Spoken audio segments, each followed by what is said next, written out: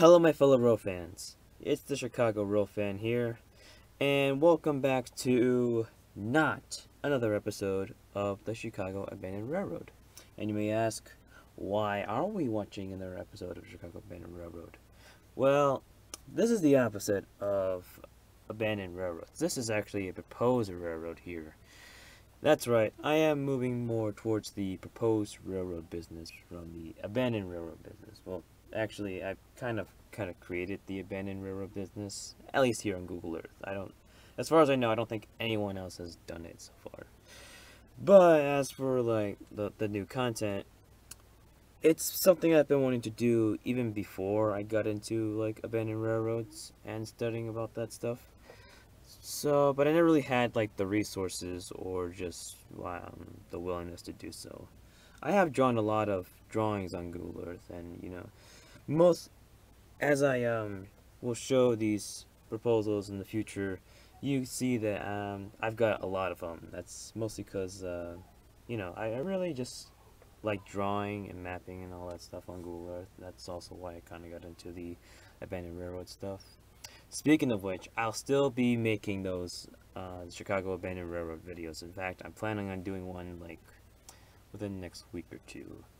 I've been pretty busy um, ever since school started for me, and it's Labor Day weekend, which means I'm to be out of town, so don't expect a video until like eh, maybe next weekend or so. I may get one out on Labor Day, but that's far as I know. Anyways, we're gonna moving on to the proposal. We have a little branch off here from the loop to Navy Pier and a little bit beyond.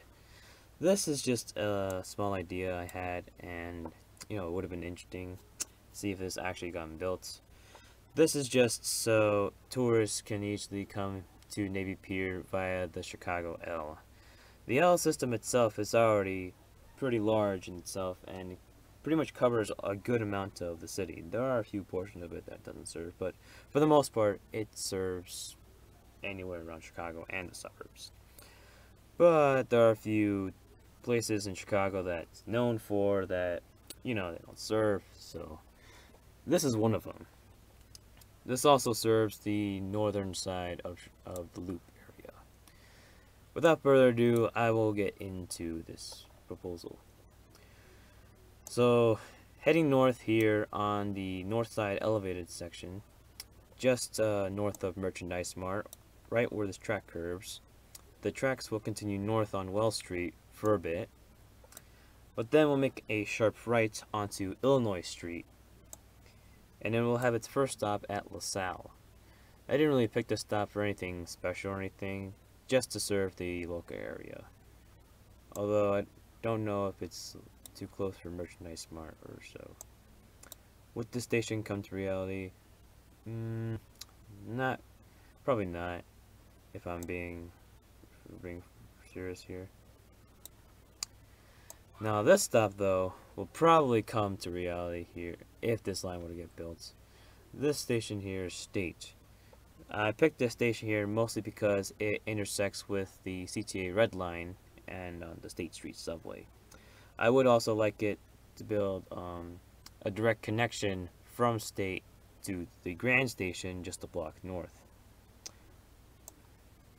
Moving on here, Columbus Fairbanks is the next stop.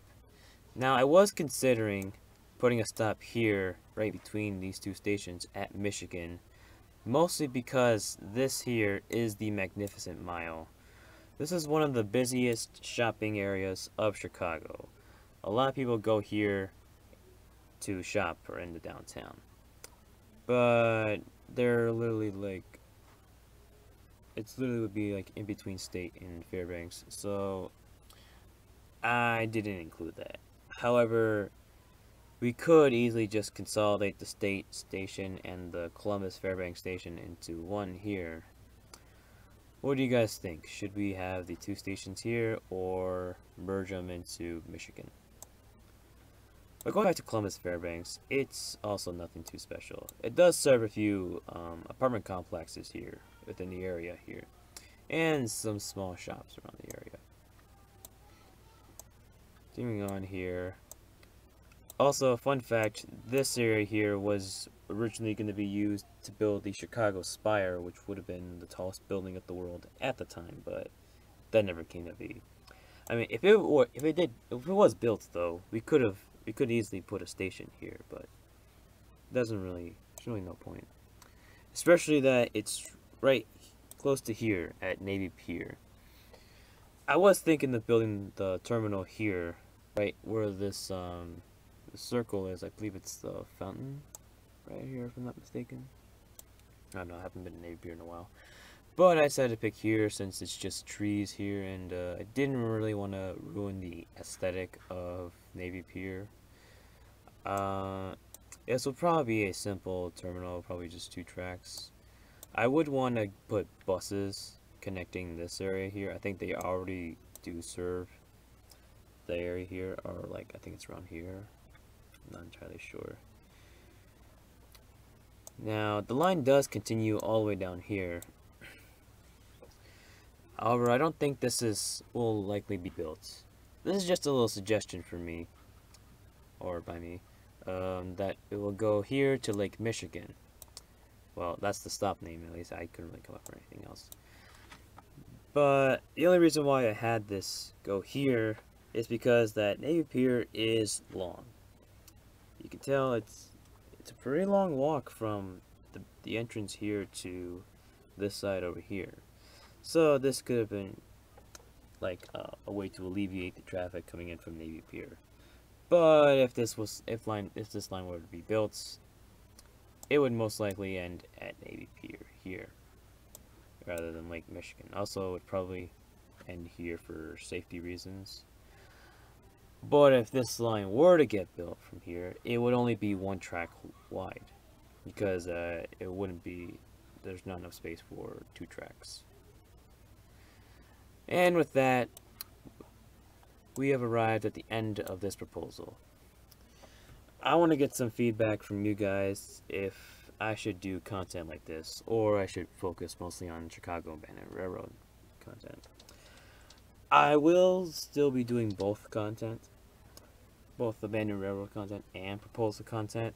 This one here was not was not professional, so I will be doing more proposals that are more professional looking and all that.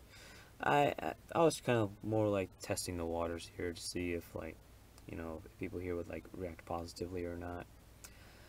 But before you guys leave, please pay the fare, which is liking and subscribing to my channel. Till next time, this is the Chicago Rail fan, departing and signing out.